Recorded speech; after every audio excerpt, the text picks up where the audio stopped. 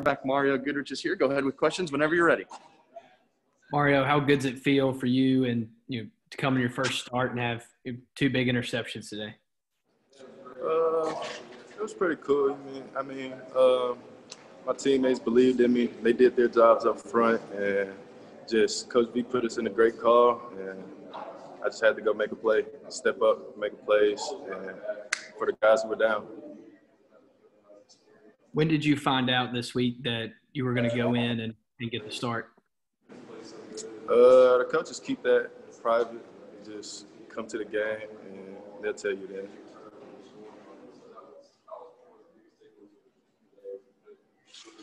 How does it feel to come out and do that tonight uh, on senior night uh, against a quality quarterback uh, like Pickett uh, and really go out and just uh, win a big game for those seniors who's their last game at home?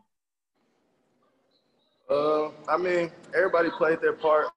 Offense played their part, doing what they were supposed to do, scoring points. And defense, we just made plays, capitalized off the other team's mistakes, and gave the ball back to our offense so they can do what they do.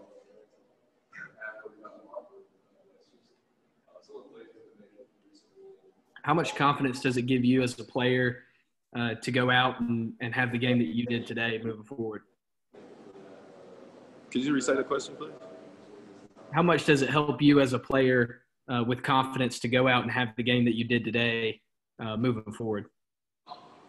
Uh, Man, you just try to build days and just be as productive as you can. And with those days, just try to take advantage of whatever you can. And tonight, my coaches, they believed in me. They put me in good positions all night. My teammates, they believed in me.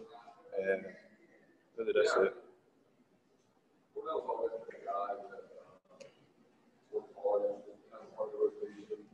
Any other questions for Mario?